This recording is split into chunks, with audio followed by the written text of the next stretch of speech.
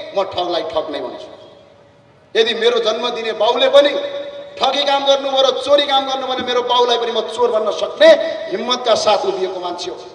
अहिलेको सहकारी प्रकरण के हो गृहमन्त्रीज्यू इलामको यही चोक बजारमा आएर लाइभ क्यामेरा गरेर जनतालाई बताइदिनु होला। तपाईँ दोषी हो कि निर्दोष हो? तपाईँले आफै छानबिन समिति गठन गर्नुहोस्। किनकि तपाईँको हातमा चाबी पनि छ ताला पनि छ। नयाँको आँटमा ठग्न पाइँदैन नयाँको आँटमा नक्कली पासपोर्ट बनाउन पाइँदैन। नयाँको आँटमा देश बुझ्न पाइँदैन। नयाँको आँटमा उही बुढा पुराना नेताहरूको माथि गएर घुँडा समाउन पाइँदैन। हामी सत्यको बाटोमा छौँ। तपाईँलाई चित्त बुझ्दैन भने भोट नहाल्नु होला। भोट हारौँला जितौँला केही छैन। भोट त राम्रो पार्टी भनेर एमाले जितेकै हो। राम्रो पार्टी भनेर काङ्ग्रेसले जितेकै हो। तर राम्रो पार्टी भएर मात्रै हुँदैन। जनतालाई सुविधा जनतालाई विकास चाहियो जनतालाई सुशासन चाहियो जनतालाई समृद्धि चाहियो। तर खै त समृद्धि खै त सुशासन खै त विकास? भ्रष्टाचार त्यतिकै बढेको छ। कसले कारवाही गर्ने? राजा भइदिएको भई यी भ्रष्टाचारीलाई उहिले जेल हालिसक्थ्यो भन्ने कुरा यहाँ राख्न चाहन्छु। तर राजा नभएको कारणले गर्दा भ्रष्टाचारीलाई कारवाही गर्ने ठाउँ भएको छैन। त्यस कारणले आदरणीय आमा बुवा दाजुभाइ तथा दिदीबहिनीहरू विशेष गरेर इलामका आम मतदाताहरूलाई म भन्न चाहन्छु तपाईँहरूले पन्ध्र गतेसम्ममा सोच्नुहोस् आफ्नो मतलाई वर्षौँभरिको यो जुन खालको अराजकता अस्थिरता अविकास त्यो जुन विकासका विरोधीहरू छन् त्यसलाई तपाईँहरूले तोड्नै पर्छ। त्यो तोड्नका लागि तपाईँहरूले राष्ट्रिय प्रजातन्त्र पार्टीको चुनाव चिन्ह हलोमा मतदान गर्नुपर्छ। यदि तपाईँहरूले मतदान गर्नु भएन भने भोलि तपाईँहरूले त दुःख पाउनुभयो पाउनुभयो। तर तपाईँको छोरा नातिले दुःख पाउला र त्यतिखेर सराप्दा तपाईँहरूलाई पछुतो होला। अहिले तपाईँलाई झुटा बाचा गरेर रापरवाले भोट लिनु छैन। बरु तपाईँ भोट नहाल्नु होला हामीलाई फरक पर्दैन। तर झुट बोलेर एउटा भोट पनि नलिने यो प्रतिबद्धता र बाचा गर्न चाहन्छु म तपाईँलाई त्यतिखेर आवाज उठाउँ है यसो टिको त लाउँछौ त हो। हेर्दा त किराँती जस्ता छौ त हो हेर्दा त बुद्धिस्ट जस्ता छौ त हो हेर्दा त कहीँ कहीँ पाथिभरा गएर लमक्कै यहाँदेखि यहाँसम्म टिको लाएर बाबा यस्तो गरेको फोटो त हाल्छौ त हो। तर संसदमा हिन्दू बुद्ध र किराँत सहितको वैदिक सनातन हिन्दू राष्ट्र चाहियो भन्न तिमीहरू किन डराउँछौ?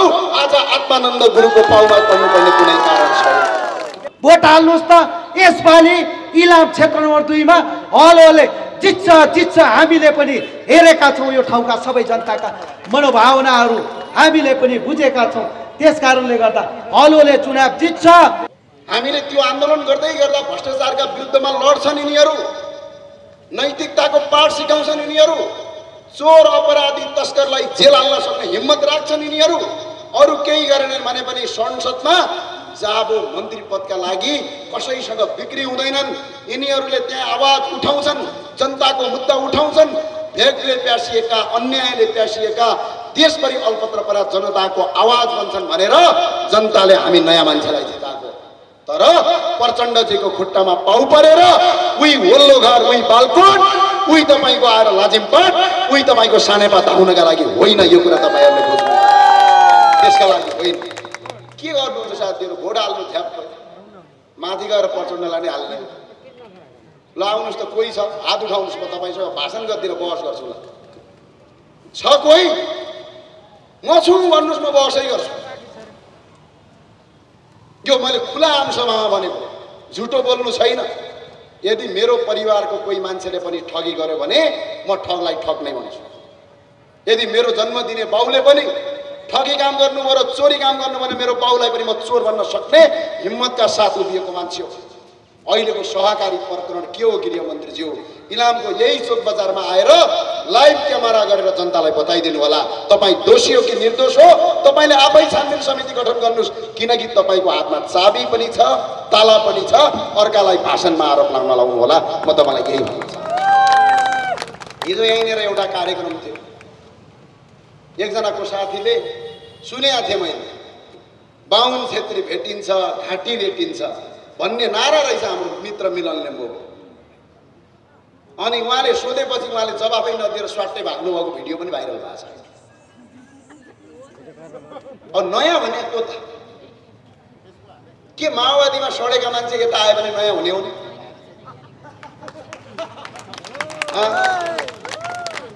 काङ्ग्रेसमा कामै नलाग्ने पद पाउँदा पाउँदा वाक्क भएका साथीहरू हेर्नु त। राष्ट्रिय उपाध्यक्ष उपाध्यक्ष खाएको छ देश कङ्गाल बनाएको छ।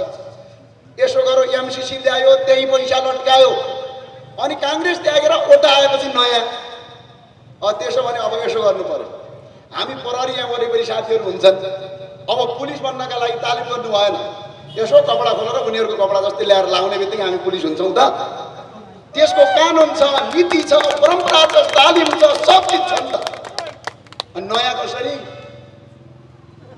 बाहुन छेत्रीको घाँटी छक छक काट्छु भनेर अभियान चलाउने केटाहरू नयाँ हुन् भने यो भरममा नपर्नुला जो जो लुटेरो छ पार्टीमा छिरायो नयाँ।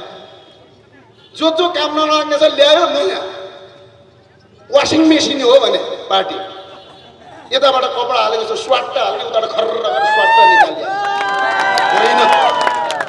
व्यक्तिको क्यारेक्टर हेर्नुहोस्। म अहिले पनि भन्छु डाक्टर महेन्द्र थापा यदि यहाँको उम्मेद्वार भएको भए म आज रापरबाको चुनाव प्रचारमा हुन्थेन। म रापरबालाई पनि कुरा गर्थेँ। नयाँ तर यसको मतलब नयाँको आँटमा ठग्न पाइँदैन। नयाँको आँटमा नक्कली पासपोर्ट बनाउन पाइँदैन। नयाँको आँटमा देश बुझ्न पाइँदैन। नयाँको आँटमा उही बुढा पुराना नेताहरूको माथि गएर घुँडा समाउन पाइँदैन। हामी सत्यको बाटोमा छौँ तपाईँलाई चित्त बुझ्दैन भने भोट नहाल्नु होला तर यथार्थ यही हो अर्को कुरा गर्दा रहेछ मलाई हाँसो लाग्यो क्या मलाई भन्ने गर्थे पहिला के थाहा छ ए ज्ञानेन्द्र साई इलाम आइस भने त तँलाई पक भन्थे फेसबुकको कमेन्टमा होइन अहिले पनि यिनीहरूको कमेन्ट लेख्ने एउटा ग्रुप बनाएको छन् साथीहरू पैसा छ जति पनि मालपानी अनि के छ अनि म अस्ति इलामको गाउँ गजुरमुखी गएर आएँ। गाउँ गाउँमा छिरेर आएँ र सबैलाई मैले भन्ने गरेको छु मेरा दाजुभाइ हो मेरा दिदीबहिनीहरू हो सबैलाई मैले एउटा वचन भन्ने गरेको छु यदि तपाईँलाई यो देशमा पहिचान छ भने एउटा मात्रै पहिचान हो त्यो नेपाली एउटा मात्रै देश हो त्यो नेपाल। यही मुद्दा बाहेक अर्को मुद्दा रापरवाले बोक्दैन आज सीमित एउटा सांसद पदको उम्मेद्वारका लागि एउटा सांसद पदका लागि आज मिलेर बनेको समाज आज भट्काउनु छैन। यसो राई लिम्बूको छोरा देख्ने बित्तिकै म पहिचानवादी भन्ने हाम्रो घन्टेका साथीहरू जस्तो। यसो बाहुन छेत्री देख्ने बित्तिकै म त हिन्दूवादी भन्ने। त्यो गर्नु छैन। बरु तपाईँले हामीलाई भोट नहाल्नुहोस्। केही फरक पर्दैन। हामी बरु एक भोट ल्याउन तयार छौँ तर यो देशको असली पहिचान नेपाली हो असली देश नेपाल हो यहाँभन्दा अरू अरू कुनै कुरा हुन सक्दैन। यो कुरा घोषणाका साथ। यही मुद्दा स्थापितका लागि लक्ष्मी गुरुङलाई यहाँबाट चुनाव गर्नु टाढा जानु पर्दैन। यही नाका काटेर परपट्टि जानुहोस्। तपाईँले भारतीयलाई तपाईँले के भन्छ? भारतीयले तपाईँलाई तिमी राई हो तिमी लिम्बू हो तिमी छेत्री हो तिमी ब्राह्मण हो भनेर सोध्छ। सोध्दैन। तिमी नेपाली हो कि नै भनेर सोध्छ। त्यो भएको हुनाले हाम्रो असली पहिचान नेपाली हो। असल एकमात्र देश नेपाल हो। यही हो हाम्रो पहिचान। यही पहिचानको मुद्दामा आज हामी सडकमा आएका छौँ। साथी हो चुनावको बेला झुट बोल्नु छैन। आज लारम्बा जान्छन् साथीहरू। यस्तो लाइन लाएर डङ्की अगाडि प्रधानमन्त्री त्यसपछि गृहमन्त्री।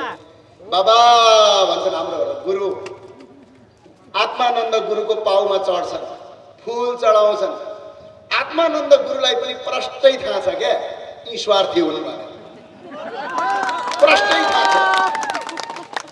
यो चुनावको बेला मात्रै गुरुका आउने माथि संसदमा आवाज नउठाउने। चुनाव जितेर गएपछि कहिल्यै संसदमा म भन्छु बुद्ध हिन्दू र किराँत सहितको वैदिक सनातन राष्ट्र चाहियो भनेर मैले संसदमा चलेका मिटिङमध्ये सत्र पटक भन्दा बढी बोलिसकेको छु। त्यतिखेर आवाज उठाउँ है यसो टिको त लाउँछौ त हो। हेर्दा त किराँती जस्ता छौ त हो। हेर्दा त बुद्धिस्ट जस्ता छौ त हो। हेर्दा त कहीँ कहीँ पाथिभरा गएर लमक्कै यहाँदेखि यहाँसम्म टिकुला र बाबा यस्तो गरेको फोटो त हाल्छौ त हो। तर संसदमा हिन्दू बुद्ध र किराँत सहितको वैदिक सनातन हिन्दू राष्ट्र चाहियो भन्न तिमीहरू किन डराउँछौ? आज आत्मानन्द गुरुको पाउमा गर्नुपर्ने कुनै कारण छ हामी तपाईँहरूलाई हाम्रा कुरा सुनाउनका लागि यहाँ उपस्थित भएका छौँ। तपाईँहरू नआत्तिनुहोस् तपाईँहरूले अप्ठ्यारो नमान्नुहोस्। हामी तपाईँहरूको पार्टीलाई गाली गर्दैनौँ एमालेलाई गाली गर्दैनौँ हामी काङ्ग्रेसलाई पनि गाली गर्दैनौँ तर के कुरा हो भने सत्य कुरा तपाईँहरूलाई भन्न आएका छौँ। तपाईँहरूलाई केही कुरा बुझाउन आएका छौँ। मतदान गर्ने कुरा तपाईँको अधिकारको कुरा हो।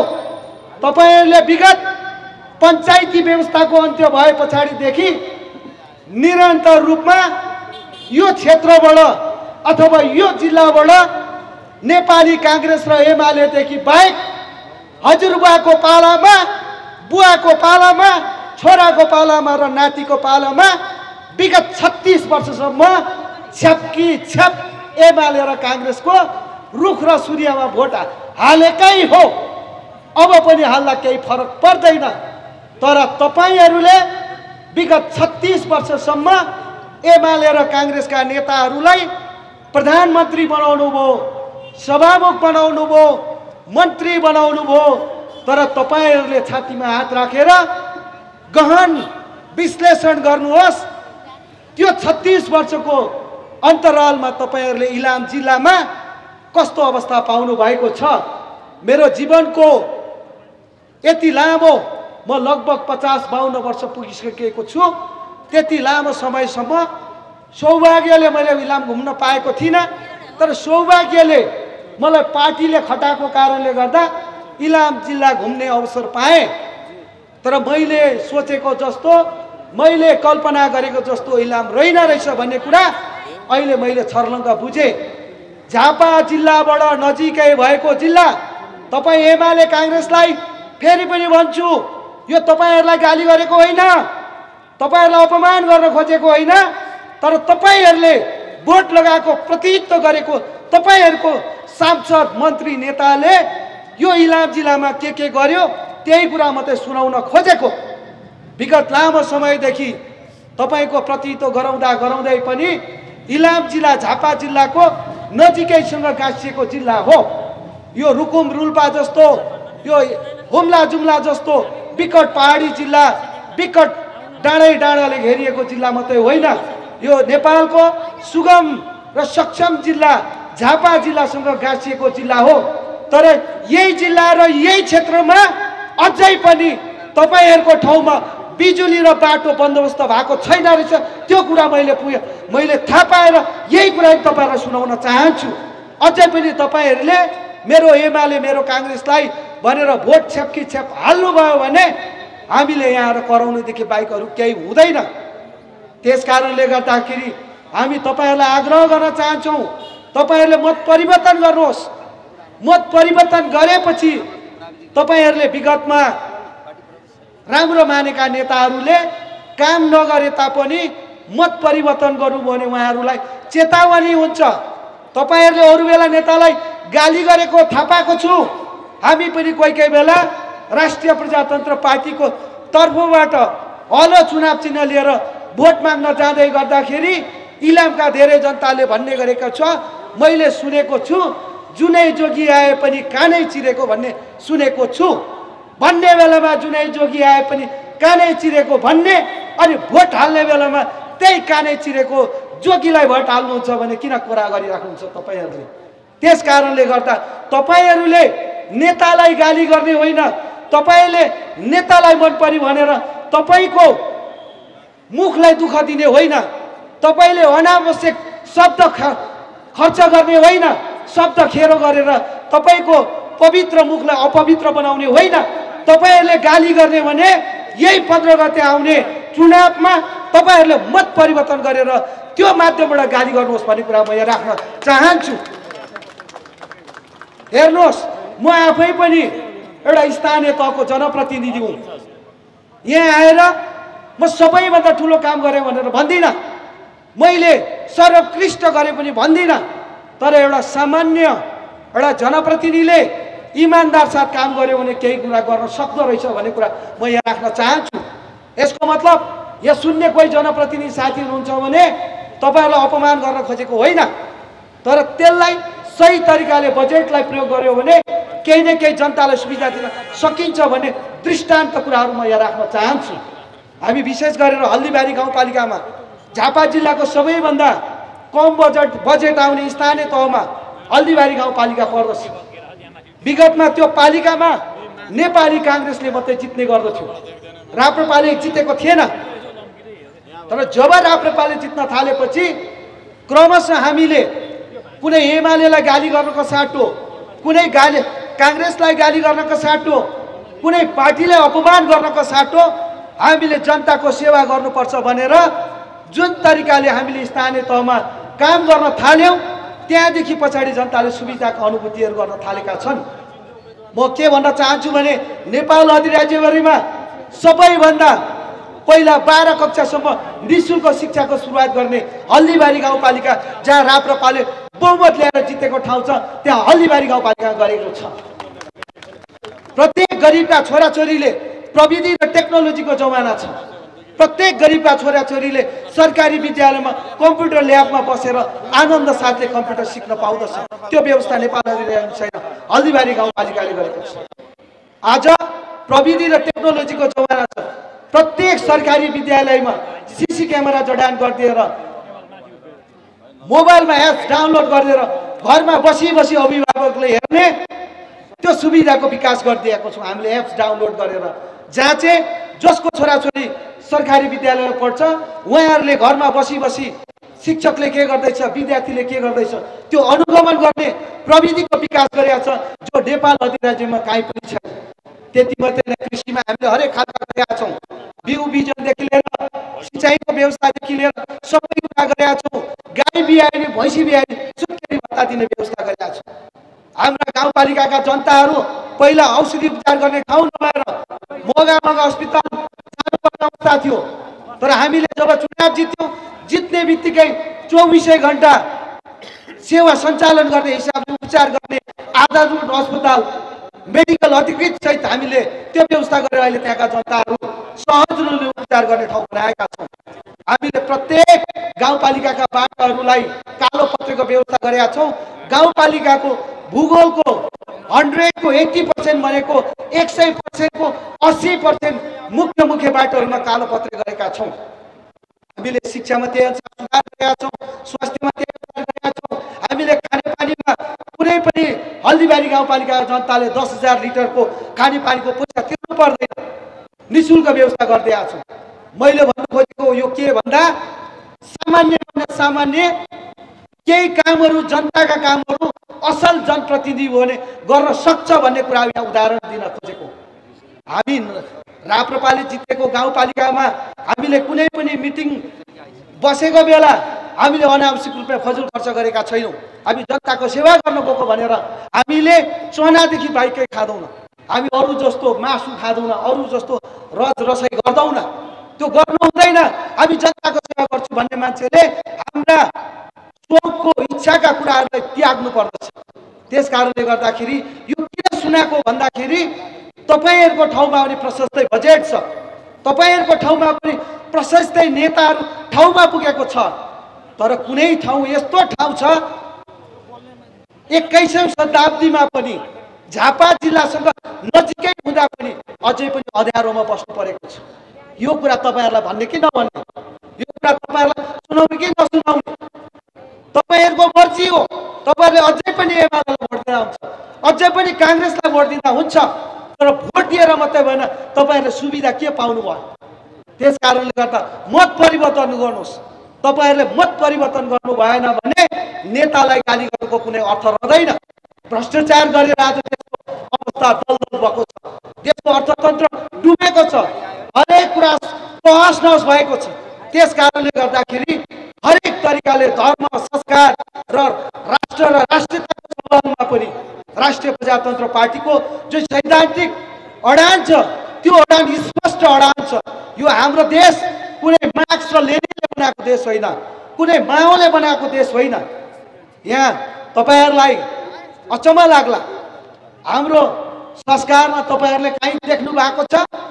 महान कमरेडहरू भएर सम्भवतः यही पनि कमरेडहरूको कार्यक्रम भएको भई यहाँ नमस्ते भनेर भन्नुको साटो अभिवादन कमरेड भनेर ठाडो आग पारेर आफूभन्दा मान्य जनहरूलाई मुर्की उठाएर मान्ने संस्कार हाम्रो होइन भन्ने कुरा म यहाँ राख्न चाहन्छु। हाम्रो संस्कार भनेको हामी नेपालीले मान्ने नमस्कार नै हो। यो देश पृथ्वीनाथ शाहले नै बनाएको। हामीले यसले हिंसा बदलिनु हुँदैन। यो मार्क्स लेनिनले बनाएको देश होइन। यो माउ सेतुङले बनाएको देश होइन। यो देश राजा पृथ्वीनाथ शाहले नै बनाएको। यसमा गर्व गर्नुपर्छ। राजनीतिले धर्मलाई सम्बोधन गर्नुपर्छ।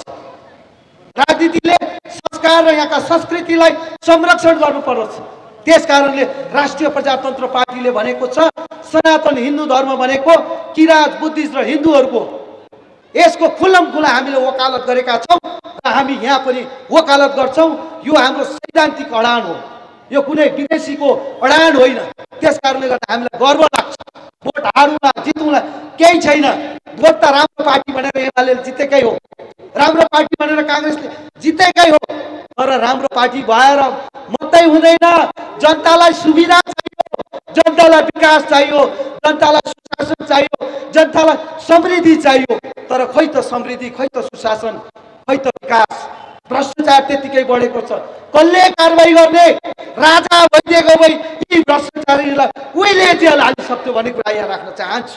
तर राजा नभएको कारणले गर्दा भ्रष्टाचारीलाई कारवाही गर्ने ठाउँ भएको छैन।